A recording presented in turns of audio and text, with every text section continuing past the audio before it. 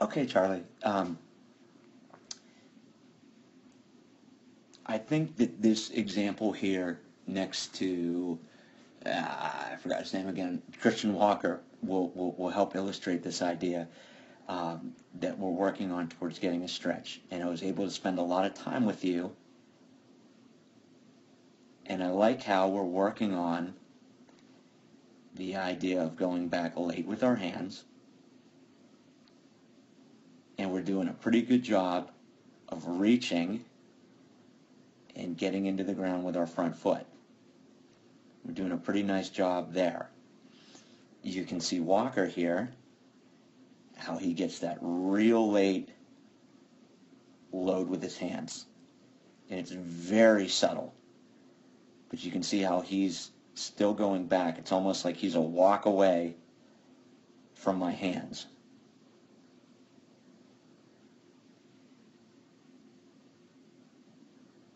You're getting closer, I think you could get a little bit more of a top half load. See how he's just getting a little bit more separation there.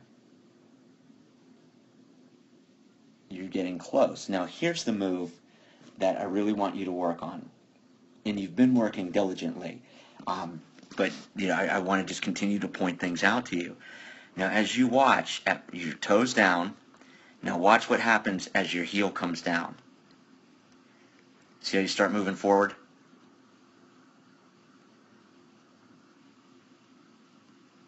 Now, as Walker's heel starts coming down, see how he started to engage his lower half a lot more?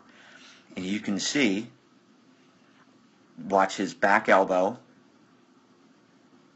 See how he gets that real good independent of the hands as his heel's coming down. Sorry, I can't draw when it's split screen. Watch his belt buckle. There's a stretch right there. And as your heel comes down, see how we just start coming forward a little bit? Okay.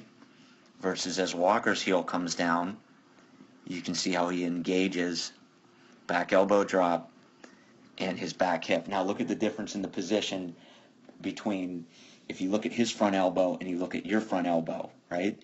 And you look at his weight and you look at your weight, you can see how you've just started to come forward a little bit with your weight and a little bit with your hands. And when I say hands, you know, really look at the elbow position as the front heel has struck, in fact, he's even getting down there.